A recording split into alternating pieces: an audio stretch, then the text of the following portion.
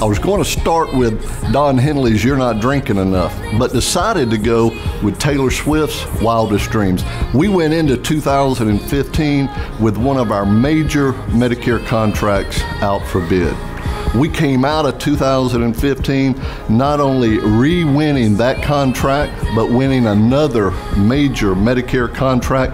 That's why 2015 was a year of us achieving our wildest dreams.